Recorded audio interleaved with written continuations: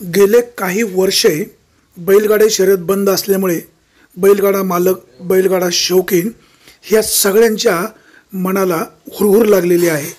ही शर्यत पुन्हा सुरू व्हावी म्हणून बैलगाडा मालकांनी आणि शौकीनांनी उचल घालेली आहे.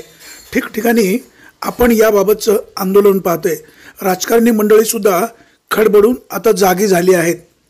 शिरूर विभागाचे खासदार अमोल कोल्हे यांनी ओझर या ठिकाणी बैलगाडा शर्यती चौकीनांचा मेळावा घेऊन बैलगाडा शर्यत सुरू करण्यासाठी मी प्रयत्नशील आहे अशा प्रकारची घोषणाही केली. त्याचबरोबर बैल हा संरक्षित प्राण्याच्या यादीमधून बाहेर काढण्याचा माझा प्रयत्न सुरू आहे असंही सांगितलं. त्याचबरोबर गेले अनेक वर्ष बैलगाडा शर्यत सुरू करण्यासाठी प्रयत्नशील असलेले माजी खासदार शिवाजीराव आढळराव हे सुद्धा प्रयत्नशील आहेतच. गाडा मालकांनी शिवाजीराव आढळराव यांची मागील आठवड्यामध्ये भेट घेऊन दादा पुन्हा तुम्ही पुढाकार घेऊन बैलगाडा शर्यत सुरू करा अशा प्रकारची विनंतीही केली आहे. त्यामुळे आढळरावसुद्धा पुन्हा आता शर्यत सुरू करण्यासाठी सरसावले आहेत. त्याचबरोबर भाजपचे नेते आमदार पडळकर हे सुद्धा बैलगाडा शर्यत सुरू होण्यासाठी आग्रही आहेत. त्यांनी बैलगाडा शर्यत एका ठिकाणी पळवलीच.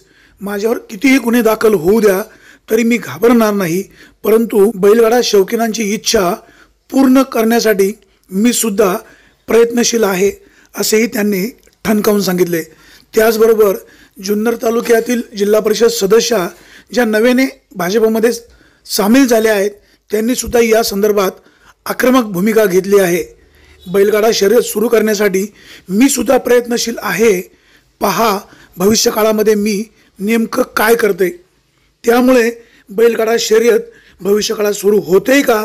हे सुद्धा आता पाहणं औत्सुक्याचं ठरणार आहे. पाहूया येत्या काळामध्ये बैलगाडा शर्यत कोण सुरू करतंय आणि या बारी मोहरं घोड्यावर कोण बसतंय?